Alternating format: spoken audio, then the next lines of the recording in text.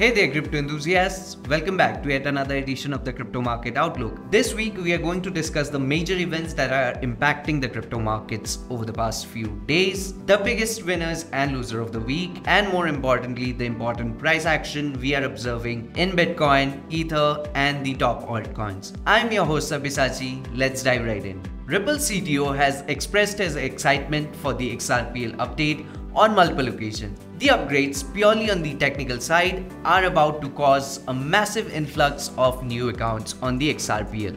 Data suggests that approximately 5 million new accounts will be created on XRPL.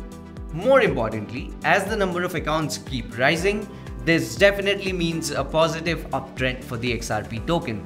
Analysts suggest that the XRP token could rally 20% from the current levels. Well, that's not all. Ripple says that it will fight the SEC case all the way through to see a victory. This means a definite positive sentiment for the overall crypto market. Well, let's stay tuned and find out what happens next in the Ripple case. Next up, on the regulatory front, Grayscale CEO expects a US crypto bill to be passed this year.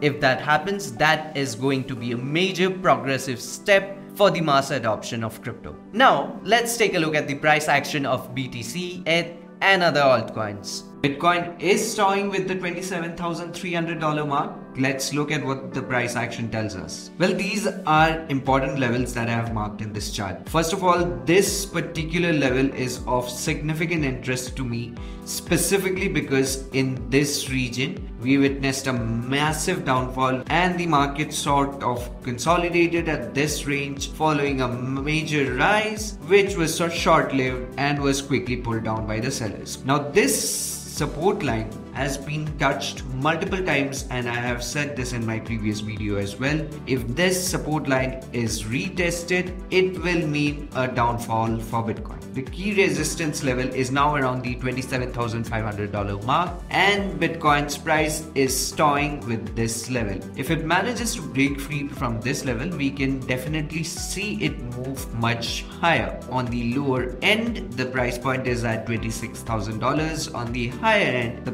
price point is around the $27,100. I'm expecting some consolidation to happen around this particular region. One important factor to consider here is the exponential moving average. The exponential moving average or 20 day EMA is below the current price point of BTC. This level has proved to be significantly important in charting out the course of action for BTC. For the coming week, the price trajectory of Bitcoin is likely to hover around the 26,600 mark to around 27,500 mark which gives it a breather of around 3.6%. However, there are a significant number of macroeconomic factors. One key instance would be the Federal Reserve's decision on interest rates. Let's stay tuned for that. Moving on to the largest altcoin, Ether.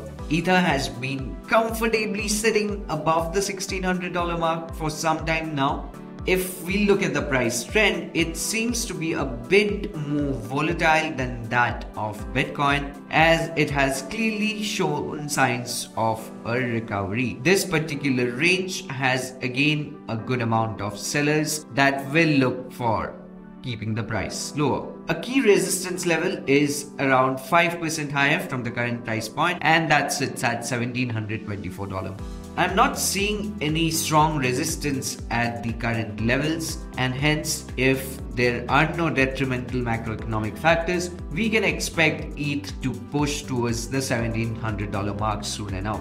Another key important factor that is going to play a significant role in shaping the trajectory of this market is Ripple we will keep a close eye on Ripple and that will eventually pave the way for other altcoins and ETH and BTC in the times to come.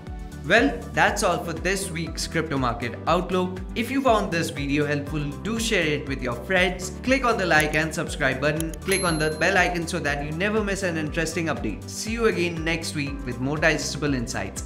Until then, happy investing.